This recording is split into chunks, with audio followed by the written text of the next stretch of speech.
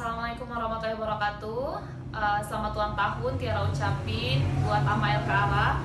Semoga uh, umur Ama diberkahi oleh Allah Subhanahu wa taala, sehat selalu sehingga kami semua anak-anak muda dapat menikmati puisi-puisi yang Ama berikan. Untuk itu Tiara akan membacakan puisi buah karya dari Ama yang berjudul Doa untuk Camar Kecil. Camar kecil. Terbang menggigil.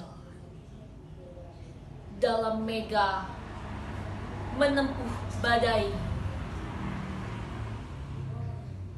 Beri dia bulu yang hangat oleh kasihmu. Beri dia sayap yang kuat oleh beri dia hati yang terang oleh sinar. Jakarta, 8 April 1986.